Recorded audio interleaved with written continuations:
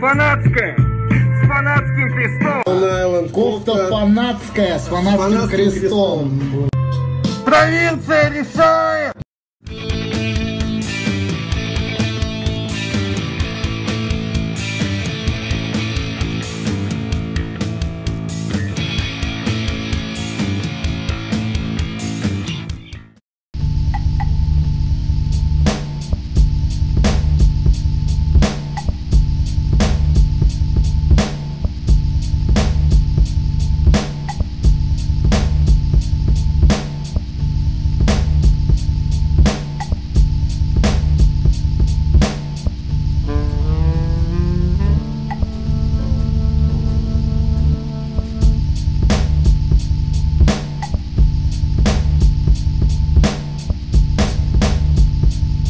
Чертаново. Кто тысячу раз спрашивал, когда будет Эдуард Германский. Сейчас сразу мы будем листать ваши вопросы, которые в директ вы задавали. Какие у тебя а, вообще стандартные вопросы вот постоянно сыпятся на твою популярность, которая упала на тебя? Вот прям топ постоянных вопросов. Ну, во-первых, всем привет. Естественно, два самых, самых популярных вопроса. Первый, когда бой. И Был второй, вопрос. ка- как попасть на хардкор. Хотел сказать, сегодня мы об этом говорить не будем, но придется, придется. Но на самом деле наша цель а, изначальная не только это. Вообще хотелось бы, да просто за людское. Ты же не родился в 2019 году, а ты уже сформированный человек взрослый. Ты спортсмен, по-любому были какие-то трудности. Не все ж так гладко, как все думают, смотрят там раз первую неделю, блядь, столько-то подписчиков, вторая плюс 15 тысяч. Нет, нет, нет, такого не бывает. Да у него сват в Hardcore Fighting е. Да, да у него хач знакомый. Сват, брат. Продался просто хачам. Да, да, да. Кстати говоря, вот как... До сих пор заебывают, братан. Ну а что? Продался хачу. Ну, во-первых, давайте вот, ну, по порядку. Да. Назовите мне э, российский промоушен, если говорить о профессиональных боях, которые держат русские. Славянин мне. Ну, типа, Камиль Гаджиев так себе, да, русский. В ACA я вообще молчу, как бы. Поэтому, ну, в любом случае ты будешь драться в промоушене, который принадлежит не, как бы, славянам. Это, во-первых. Во-вторых, ну, Амиран грузин. Он вполне адекватный, культурный, воспитанный человек, э, с которым, ну, реально приятно работать. Он ни разу не обижал, ни разу, знаешь, не нарушал какие-то договоренности и все делал по-человечески. Поэтому кто бы там что ни говорил, а было... Да и вообще, знаешь, вот эти вот все зигометы, которые пишут, я знаю, что я просто видел это лично у Амирана, что половину из них подавали ему заявки. Да, дрался я на битве за хайп у Хача на канале, но А- я ага. подрался с чеченцем, победил и заработал за это денег. Если вы подеретесь на улице с чеченцем, вы заработаете себе геморрой и вас, скорее всего, посадят за разжигание. А я как бы сделал все четко, еще и заработал. Можно гадать сколько угодно, дорогие друзья, можно ли получить на смешанных единоборствах такую травму. Но одним мы можем похвастаться. Промокодом, который должен быть выжженным в вашем мозгу. Можно гадать сколько угодно, когда закроют спортивные мероприятия. Но то, что ты получишь до 25 тысяч на первый игровой депозит, введя наш промокод, это инфа сотка. Ну а вот и наш победитель, дорогие друзья, из прошлого влога, который получает замечательную футболку, игровую футболку. Самое главное смотреть наши влоги, комментировать, ставить лайки и, будучи подписанным, получать свои призы. Ровно так же, как первый свой бонус на игровой депозит. До 25 тысяч не забывай! У тебя был какой-то план, что именно как продвинуть, ну вот так вот, Да, по чесноку, да, именно смотри. как свою тренерскую, может быть, карьеру. Слушай, изначально был план такой, мы, мы с корешем встретились, и он говорит, слушай, пора заводить свой канал. Я говорю, да, давай, братан, ну нормальная тема. Он говорит, сейчас заведем канал, у меня есть знакомые, может как-нибудь, когда-нибудь, куда-нибудь попадем гостями, какая-то там популярность упадет. Ну, короче, будем стараться развиваться, давай. Я говорю, давай. И мне на следующий день звонят и говорят, хочешь подраться у Хача на канале? И я такой, типа, ну, бля, звезды сошлись. Ну, типа, мы только это обсудили, и на следующий день приглашение. Ну и, соответственно, я согласился, и мы изначально рассматривали этот бой не для того, чтобы я становился бойцом, а для того, чтобы, ну, засветиться. Хайпануть, да? Хайпануть. Бля, вот Ну, это... я это сразу сказал. Нет, братан. ну вот это уважение, уважение. А то сейчас, блядь, начнется. Все рвутся туда и такие, да не, я просто Про- попью. Да себя. попиздись на улице. Сколько пиздельщиков-то, блядь, в пятницу вообще. Поэтому все, мы, мы схватили за этот шанс, вылетели, показали себя, да, со всей командой. И мы не хотели ни второго боя, ни третьего. Ну, то есть мы не, не рассматривали эту тему. Я не тренировался, не готовился. Но как бы поступило опять же предложение от Амирана. Хайповый бой, хороший, с Максом Топором. И предложили хорошие деньги за него. Ну, и я такой, блин, ну это прям соблазнительно. Ну и плюс, А сколько, если не секрет? Или коммерческая тайна? слушай, ну вообще я подписывал договор о Ну ладно тогда. Да хуя пизди. Ну слушай, ну не, ну как? Ты знаешь, если я назову цену, то люди в провинции, они охуеют и скажут, вы там В москвичи ЧС полетишь зажрались, сразу, в. ЧС. Нет, там нормальные бабки были, ну то есть прям хорошие. За первый бой я могу сказать, мне сказали, вы, выходи за 50 косарей. Я говорю, конечно, выскочу. Я выскочил, мне заплатили полтос, и полтос еще дали за победу. То есть я сотку за первый бой заработал. За второй бой было, ну, как бы нормально, больше. Наверное, многие спрашивают реально там, как попасть на тот же хардкор файтинг и так далее. Все думают, что если он, допустим, туда попадет, он сразу медийно, мультимедийно скакнет. Окей, давай сразу, вот по порядку. Первое, как попасть? Вообще в душе не ебу, надо оставлять заявки. Мне повезло, вот ты правильно в самом начале видео сказал, что, блядь, были свои трудности, я к этому шел годами, обрастал связями и так далее. То есть меня пригласили, я туда не просился, понимаешь? Ага. Мне позвонили и сказали, нужен хороший э, яркий тяжеловес. Ну, грубо говоря, давай вот горить как есть, меня подбирали туда под бой. То есть меня должен был убить он. Понимаешь, никто не ожидал, что у меня никакого рекорда нет, никаких боев нет, я качаюсь, пауэрлифтер, то есть меня выводили на убой. Думали, я сейчас приеду, там за 20 секунд спать лягу и все. А получилось так, как получилось.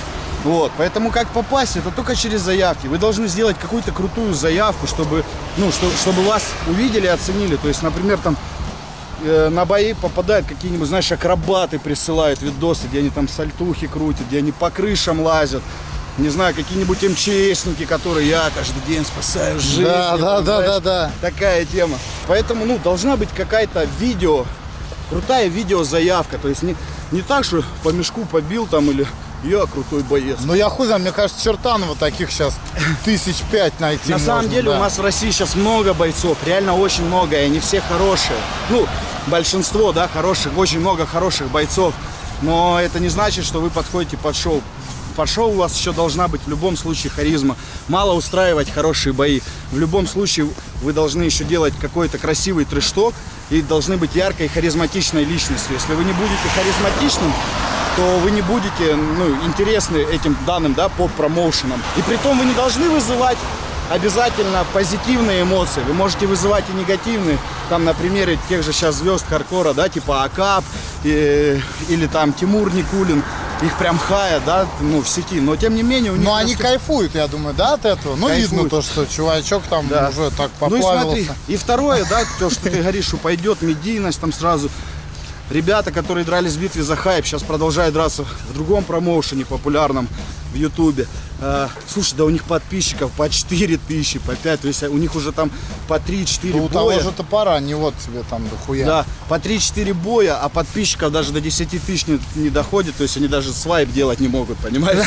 Поэтому я скажу сразу, ну, то, что после одного боя явно вы не станете каким-то там супер-мега популярным чуваком и Понимаешь, во-первых, мне повезло, потому что я попал в начало всей этой движухи, когда только набирали обороты вот эти вот бои, да, именно в Ютубе.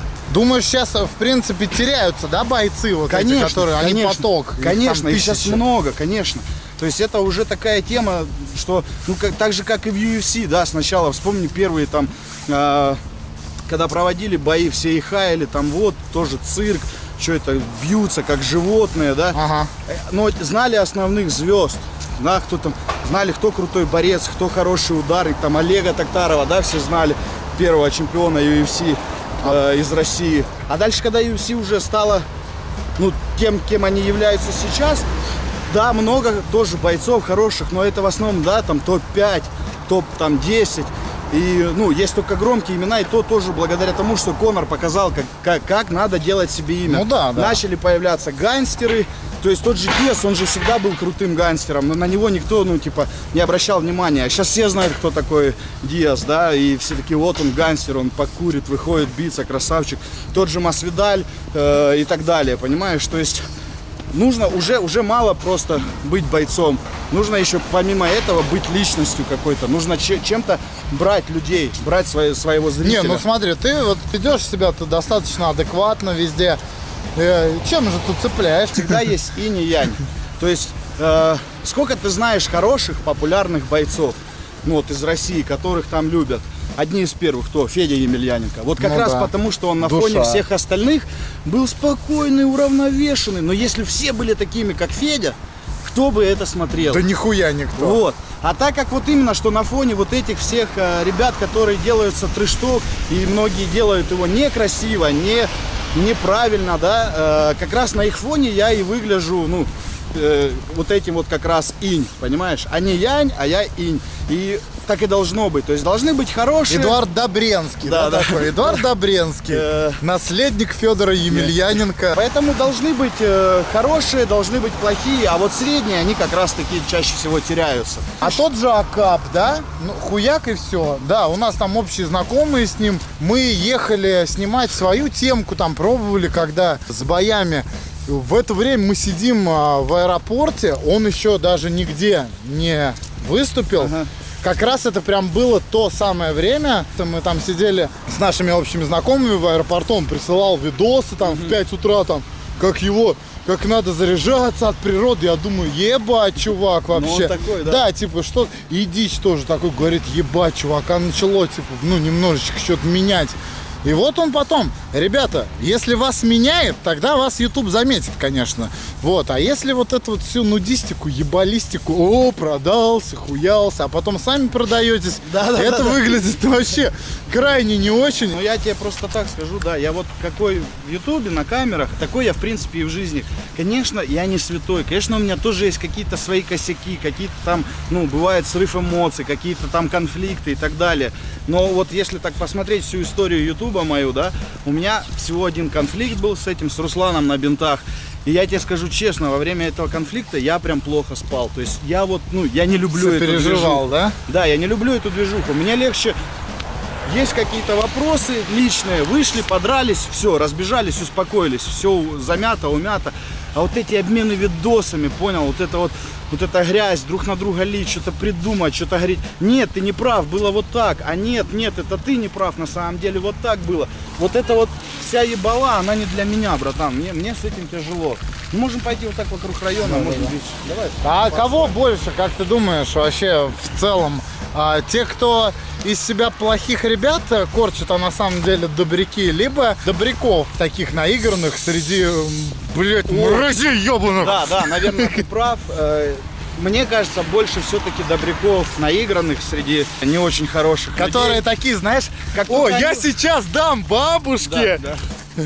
А на самом на деле, камеру, а сам ей нахуй харкну в сумку у метро, блядь. понимаешь, эти люди, когда получают свою популярность, они прям, ну, показывают потом со временем, они показывают свою, свою сущность. Люди не глупые, люди все видят все равно. Они начинают зазнаваться, они начинают... Ну, это, знаешь, это не то, что начинают, они изначально такие. Просто для того, чтобы продвинуться, они себя строят хороших, понимаешь?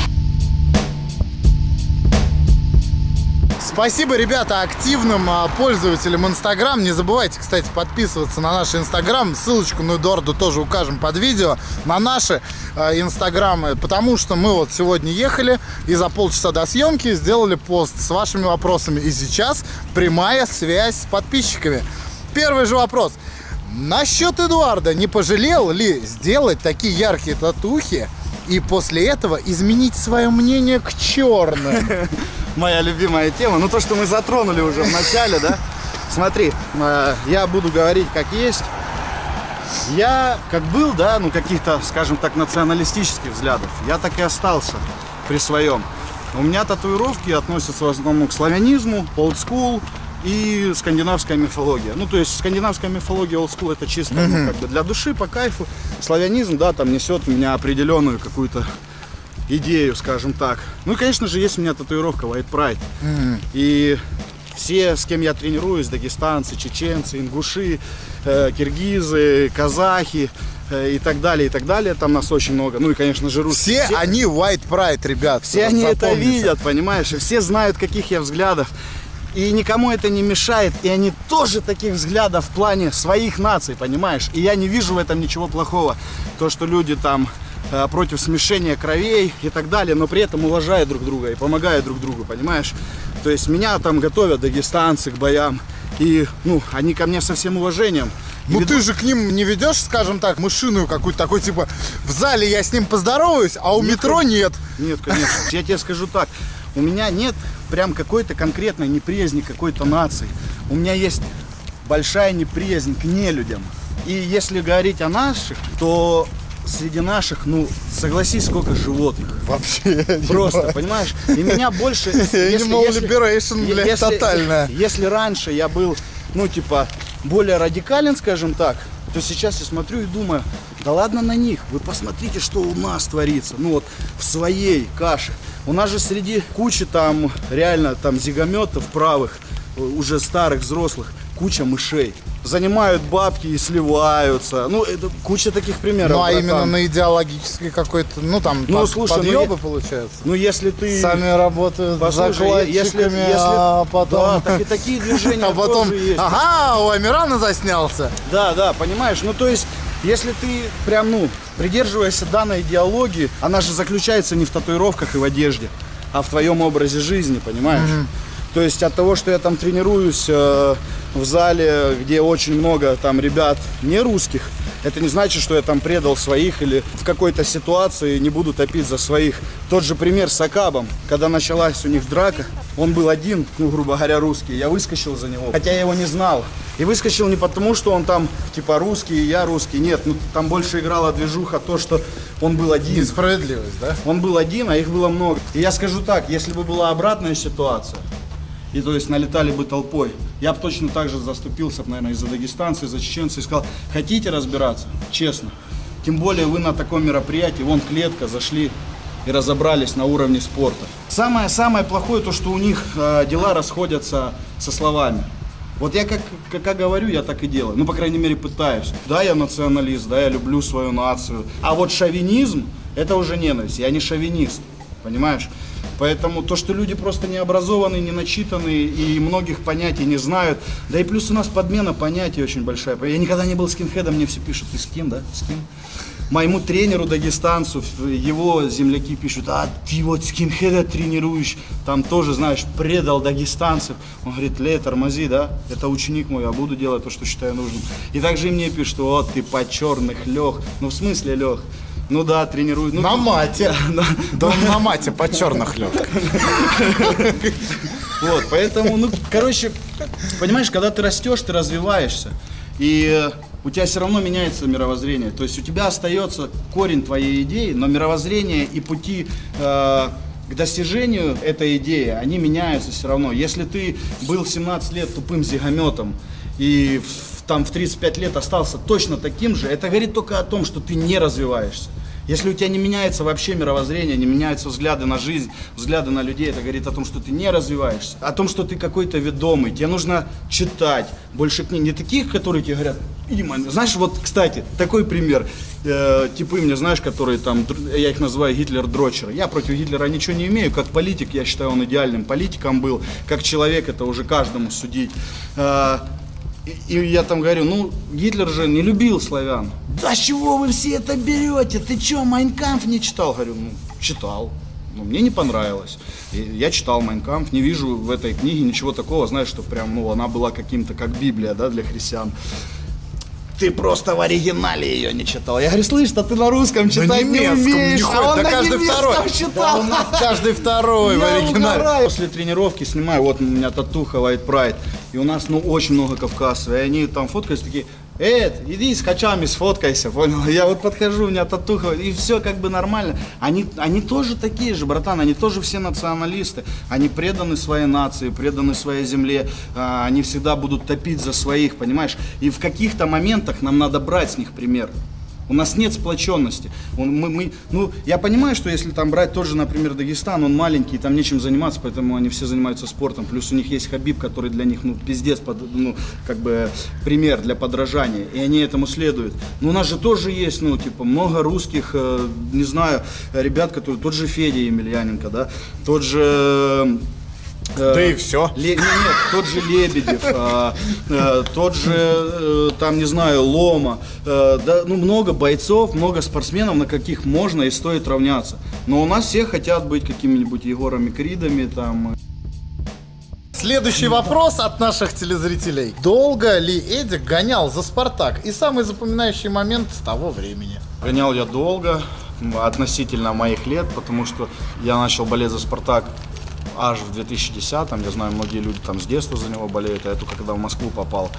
Самый запоминающийся момент, если люди имеют в виду по поводу ну, драк, это, наверное, самое крутое было, когда мы ехали, уже вышел фильм «Около футбола», мы ехали на тренировку, и на печатниках нас накрыли капитала, и они когда проезжали, ну, то есть мы стояли около примерно там второго вагона, и они когда проезжали мимо нас, так хуячили. Ебать, Дверь. как в фильме. А Вот, ему, и а ему подумал- напророчили уже И я сразу. подумал, ебать, это что, съемки? И они вылетают, и заряд вот этот, ну, на все метро, там же еще эхо, капитал. А мы еще с молодыми были, парни вообще ни разу не дрались в городе, понял? У нас было 7 человек, ну, которые там э, метили в основу, и тупо молодежь. Молодежь так тапки нарулила, понял? Сверкали только так. Я, честно говоря, и сам чуть не побежал, понял? А потом, ну, наши там сразу собрались, так, строимся, строимся, я сумку откинул, ну, и все, нас смели просто вот так. Да как в фильме. Вот реально как кино. Ну, круто было. Вот это, ну, типа... Ну а что вот вообще? А что привело тогда уж от себя вопрос? Ну, к тому, что настоебал этот около футбол. Слушай, ну его же нет, братан. Давай вот так вот, ну, если Просто до сих серьезно. пор, видишь, шлейф идет, вспоминают, кто-то за кого Коне- катал. Конечно, да. ну, как бы... Просто, ну, что, что, что есть около футбола? Да это ничего. ты, это Тебе ты- разрешили подраться сейчас. Да, а раньше Разрешили? Ты, ты собрался в 5 утра, где-то в тачке сидишь, у тебя живот крутит, и там, бля, давай в мак заедем, посрем там. да. Ну серьезно, ну все маки обосраны Да, были, братан, особенно во время дерби, блядь. И все, ты сидишь, сидишь, Боб, звонок, и ты сидишь, думаешь, бля, может, мне что-то сегодня вообще драться неохота, а потом думаешь, не, уже быстрее бы кого-то накрыть, либо отпиздить, либо уже самому пизды получить и со спокойной домой, душой домой ехать. О, все, звонок, поехал, бух-бух-бух, трах, бах, где-то мусора, ты там, все, под тачком, кайф. Это тебе не хардкор файтинг, вон как сразу, блядь, глаза загорелись. Да, а? да. А, сейчас что? Ну вышли они в лесу, блядь, 8 на 8, блядь. Что-то подрали. Вообще молча, типа, не орем, мусора сейчас приедут. Да. Раз, вышли, вот как Не- по-ваш, не- по-спортсменски. Не, не заряжаются, ничего. Ну, то есть, Да. нет, нет. И, ну, вспомни, последние две драки, это что там, э, все пацаны в мусарке. Все, его нет, поэтому меня говорят, ну, типа, почему ты завязал? Да он сам завязался. Бы, Если бы он был до сих пор жив в тех э, кондициях, в которых, когда я вот там был, я, бы, возможно, сейчас и катал бы. Хотя, хотя сейчас бы, конечно, это было очень сложно, ну, типа, с моей медийностью, да, хоть и не очень большой, но тем не менее. Мне кажется, я все равно пытался бы гонять куда-то на какие-то большие события, там, Короче, на турнирчиках тебя не ждать. Топ ММА? Да. Слушай, на самом деле мне это уже не особо, наверное, нужно, потому что я говорил, что я пришел на первый бой ради хайпа и дальше драться не хотел. Просто еще пару раз подрался, чтобы, ну, как бы подогреть во- волну медийности. И э, я развиваю свой канал, я сейчас ведущий. То есть это то изначально, из-за чего мы это все начали. Мы себя, наша команда меня как бойца никогда не позиционировала. Но сейчас я хочу, скажем, уйти так более в полупро, в полулюбительскую карьеру. То есть мне сейчас интересно выступать и набираться опыта именно уже ну, с профессионалами. Сейчас я хочу, понимаешь, там выполнить разряд по боксу, я хочу ездить, набираться опыта на открытые ринги, на турниры по ММА. Э, Меня постоянно приглашают на сборы в Дагестан, в Ингушетию. То есть я хочу уже вот уходить туда. У меня все спрашивают, вот ты пашешь, пашешь, когда бой. В Ютубе не знаю, мне должны хорошо заплатить и должно быть очень хорошее предложение для того, чтобы я там согласился подраться. Но есть одно большое но, нет промоушена, который бы мне нравился. Амиран уехал сейчас в ЛА, и его нет. Если он вернется, опять откроет битву за хайп, вот возможно тогда я вернусь.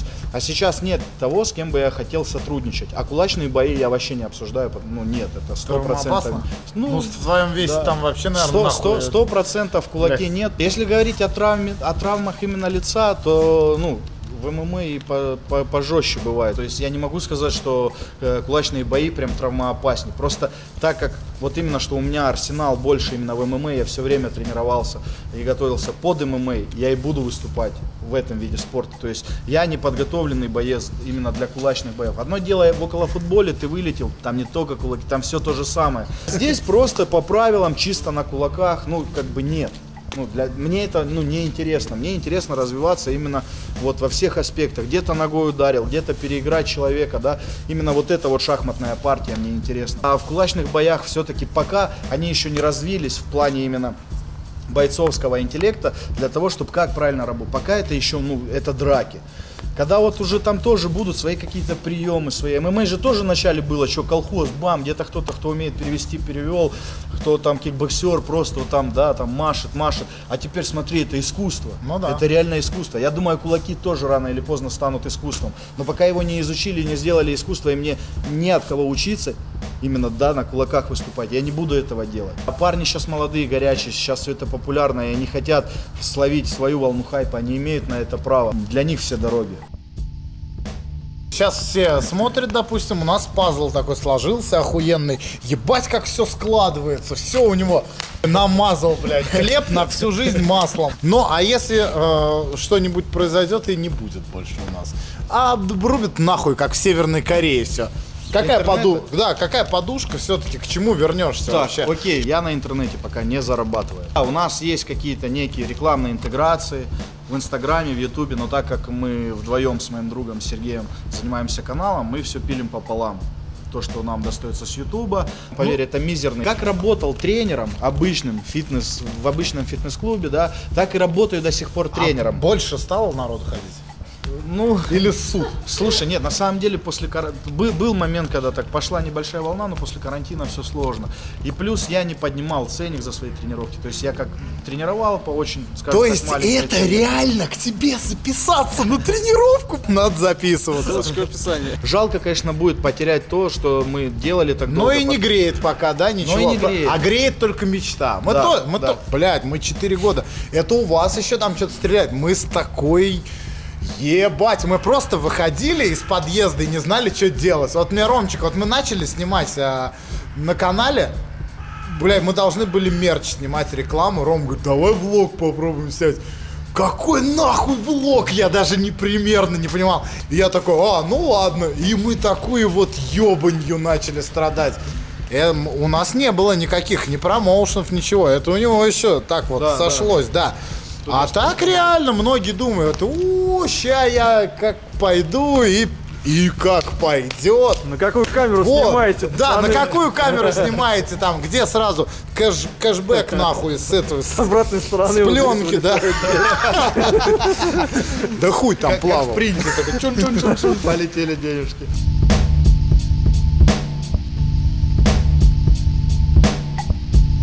Москва, успех, Чертанова.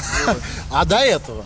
Ой, успех, братан, это... Короче, я переехал в Москву в 2010 году. Первый год жил, все было кайф, а потом так сложились обстоятельства, что мне негде было жить.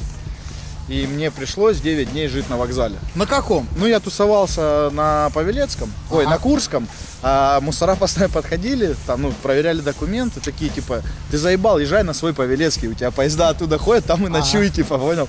Ну, у меня там шмотки, там, ну, я еще не был тут, э, скажем так, не, не оброс еще знакомствами так нормально. Было пару знакомых, не, не- не- не товарищей, а знакомых, у кого можно было просто скинуть шмотки и там залететь помыться, понял? Все, я, а я только на работу устроился на нормальную, и я подумал, если я уеду обратно, понял, типа, городок маленький, все скажут, а, бля, не Обосрался. выйдешь, да. И меня эта мысль, понял, мотивировала. Ну и все, я со временем нашел квартиру, там подыскал, ну, вернее, не квартиру, естественно, а вначале вообще у меня было э, койко-место. Нет, вру, все-таки комнату я сначала снимал, потом была еще и койко-место. Было не очень хорошо, братан. Первая работа в Москве, я работал чернорабочим э, в типографии. Хорошую, говорит, работу, блядь. Вот. Первая работа, я работал чернорабочим в типографии, но мне повезло. А, Меня туда взяли чернорабочим, но там был э, в типографии парень на там по печати. Там по печати это такая печать, где ты печатаешь, знаешь, на ручках вот эти все Ага. надписи, там на зажигалках, Ага. брелках и прочее вот это поебота. Это вот там по печатники этим занимаются. И это был земляк мой, понял? И у него как раз шел напарник, и я говорю, я две недели поработал, там, ну, принеси, подай, блядь, иди нахуй, не мешай. И он мне говорит, хочешь помочь? Я говорю, да, давай. Он все настроил там, мне надо было просто, знаешь, ручку положить, Ага. убрать, положить. И я ему говорю, слушай, а, ну, подучи, как ты все это. И он, короче, начал меня учить, понял? И, ну, когда понял, что я схватываю на лету и начинаю нормально сам все делать, он начал прибухивать, смены пропускать. Ага. Я, короче, начал работать, ну, уже э, полноценно там по печатникам, а оплатили мне как чернорабочему. Что-то я в час зарабатывал, по-моему, 53, 50 рублей. Я пришел, говорю, ну если я для вас уже как бы как мастер, потом по печати, давайте поднимем зарплату. Он говорит, конечно, поднимем. Подняли, братан, до 53, понял? И ну, все, и я, короче, Ну, я язык работал, подвешенный. я работал год, Болтал. работал, э, ой, год, работал месяц э, в декабре. Это вот перед, я помню, перед Новым годом. Я работал по 36 часов в сутки, скажем так. Ага. То есть я приходил, работал день, ночь, день, уходил домой, спал, и опять приходил, работал день, ночь, день, чтобы заработать, сука, 30 тысяч. Вот у меня была мечта заработать 30 тысяч в месяц. Вот, я их заработал и уволился. Потому что я понял, что, понял, что ну типа такая тема не катит. Дальше я начал э, просто думаю, бля, и ходил, думаю, я ну типа я вообще по образованию повар и мастер производственного обучения. Думаю, идти учить детей вообще не моя тема, понял, ну студентов. Поваром тоже, ну вот прям не хочу я быть. Я начал себя искать. Сначала я устроился в фирму, где надо это образование толкать. Вот знаешь, когда тебе звонят, говорят, здравствуйте, у вас нет высшего образования, я на сайте смотрю, вам не интересно? Типа, Ага. и я, меня, короче, я проработал два дня, меня столько раз за два дня нахуй в жизни не посылали, за всю жизнь, сколько за эти два дня. Я подумал, не, не моя работа, понял. Потом устроился в главный офис э, компании 1С. Я думаю, все знают, что это за тема, это сейчас популярная. Там я работал тоже менеджером по продажам. Там такая тема, что ты должен приехать по выезду, понял? Ты ездишь по всей Москве. За что я благодарен этой работе? Я реально за два месяца выучил всю Москву. То есть я по метро передвигаюсь, мне карта не нужна. Вот я начал работать, а там такая тема, что ты приезжаешь, ты должен показать эту программу и впарить ее. А я приезжал, ну, к таким людям, которые говорят, а точно мне нужна эта программа, а то если она, типа, ну, вдруг там что-то не так, у меня и зарплаты вычтут. Я думаю, бля, у бабки, у бедной зарплата, знаешь, там, блядь, 22 тысячи, а программа стоит А 18 тебе 30 500. хочется. И я, я, короче, уволился, потому что я говорю, нет, бабушка, не обязательно вам эту программу покупать. Вот. И, ну, я, короче, уволился, потому что, ну, не мог я наебывать людей, понял? Не моя эта тема. На какие-то шабашки мотался опять, там, где-то грузчиком, где-то еще что-то, пока искал себя. А потом мне через э, тоже своего земелю, мне предложил он работу у его брата старшего, быть помощником как, как это называлось официально, помощник айтишника. Ага. Но по факту я был шнырем, делал все по офису. То есть надо провести интернет, мы проводим. Надо там, не знаю, принести воды, мы принесли. Надо там директора шины на склад занести после переобувки, мы заносим. Ну, конечно, основная задача была следить э, за тем, чтобы вся техника работала, принтеры, компьютеры, интернет. Вот. И плюс э, мы занимались дизайном коробок. Здравствуйте. Свои лица знакомые. Сама компания продавала посуду и мелкую бытовую технику. Все, что вот коробка, которая у нас существует, это вот весь дизайн создавали мы. То есть утюг наклеил, описание, э, картинку, все. То есть вот это из-за лупа я занимался. Блять, и как же ты пришел к тому, чтобы стать тренером? тоже сложились так карты. В 2014 я знакомлюсь со своей женой. Через две, через две недели я перевожу ее вещи к себе домой. Думаю, о, жизнь начала налаживаться. Как раз же в конце 2014 кризис ёбнул. Ага. И как бы я думаю, заебись, жизнь налаживается. Прихожу на работу, работаю целый день, и в конце дня мне говорят, Эдуард, извините, но нам придется вас сократить, потому что вот компания не вывозит, типа. И меня увольняют, и я думаю, заебись, вот только новую женщину привел к себе домой, типа, все хорошо, такой я весь распиздатый, и меня увольняют, понял? Ну, хоть зарплату мне отдали, и притом отдали еще наперед, то, что я даже не доработал. Ага. Я сразу заплатил за квартиру за два месяца, чтобы нам было где жить. Вернее, мы в комнате жили, то есть мы снимали комнату. Денег на квартиру не хватало даже с наших двух зарплат. Ну, вернее, их бы хватало, но нам бы тогда нечего было есть. А супруга как раз моя уже работала тренером. То есть я опять начал маяться, начал все искать. В ночном клубе охранником долгое время работал. Там с корешами как раз, с кем, знаешь, ну типа, с кем дрались. Москву переехал. А поебашь ты сначала. Поживи на вокзале, подумай, блядь, как тридцатку за какой-то трэш, блядь, заработать.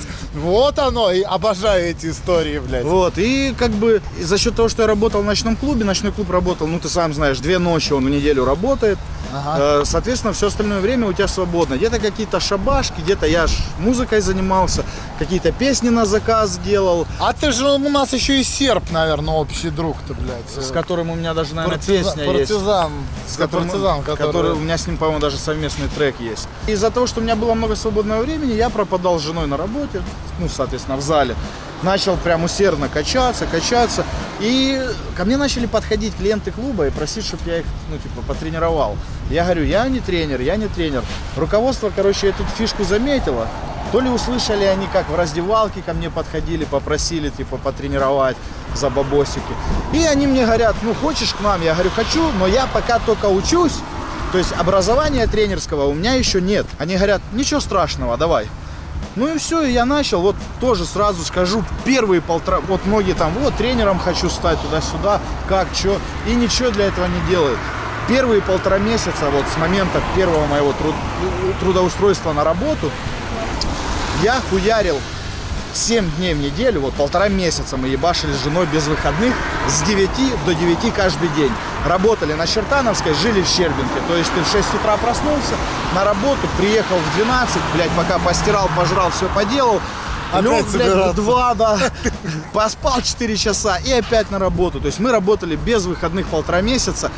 Потом сделали себе один выходной в пятницу. э, и еще два года примерно мы работали с одним выходным. Хуярили вот каждый день. То есть ты вообще не был такой-то, что ли, получается? Большой? Да. Нет, я весил 60 Когда килограмм. ручки собирал, Когда, когда ручки собирал, 60 килограмм весил, братан. Все пришло через, ну, какой-то труд. Ну и до сих пор я стараюсь, опять же, то, что я сказал, YouTube денег не приносит. То есть сейчас я стал хуярить в два раза больше, потому что все выходные. Вот сегодня, смотри, да, мы с тобой встретились. Сегодня выходной. Я с утра поехал к стоматологу, я к нему не мог попасть уже 4 месяца. На тренировке мне ебнули зубы, я уже не мог терпеть, я поехал. После приехал, мы сейчас снимаемся с тобой, дальше я еду в свой фитнес-клуб, мне, я обязан быть на открытии клуба по условиям контракта. И дальше приезжаю, у меня сегодня съемка, там парни про- попросили для клипа, мы будем сниматься, хорошо, что здесь же на районе, с 7 примерно до 12, до часу ночи у нас будет мотор, понимаешь? И вот все, вот тебе выходной, я, блядь, даже поспать не могу, понял? И получается так, что теперь приходится ебашить больше, а зарабатываю я, ну, по большому счету, столько же, потому что на работу сейчас меньше времени уходит, соответственно, я где-то, которые деньги мне приходят за рекламу, они как раз покрывают то, что я пропускаю э, свои рабочие часы. И по факту я сколько зарабатывал там два года назад, столько зарабатываю и сейчас. Получается, мечтой лишь остается жить нам с тобой. Вот, Так? да. Мечтать? Эй, эх, нахуй! Слушай, ну вселенная, все- вселенная же все слышит, поэтому если ты не только мечтаешь, но еще делаешь, делаешь, делаешь, рано или Ну, поздно. промотивируй тогда по-спортивному, раз у нас такой все-таки со спортивным уклоном вот этих вот ребят, будущих тренеров. Во-первых, я вообще не люблю мотивационные речи. Я считаю, мотивационными дол- должны быть поступки, и ты должен ли- личным примером да, показывать и мотивировать, а не какими-то словами. Я, я никогда не могу подобрать слова. У меня многие спрашивают, можешь меня замотивировать, как мне спортом начать заниматься? Блядь, да как, идешь, покупаешь абонемент и занимаешься. Либо сидишь на диване, обрастаешь жиром. Если тебе кайф обрастать жиром, обрастай жиром, не заебывай меня. Зачем, почему я должен тебя мотивировать? Твоя мотивация должна быть твоя цель.